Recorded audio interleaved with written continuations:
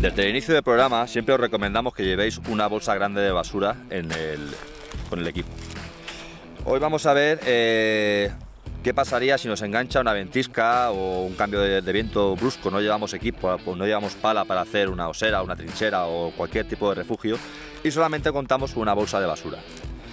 El cuerpo humano genera temperatura ah, como si fuera una bombilla de unos 10 vatios más o menos. Si yo me pusiera la bolsa directamente encima, el problema que tengo es que la bolsa me tocaría la piel y me haría perder temperatura. Entonces, una forma de mejorar este pequeño refugio sería metiendo todo tipo de vegetación dentro para aumentar la cámara de aire, que nuestro calor se quede dentro y que el frío no nos toque. Supervivencia pura.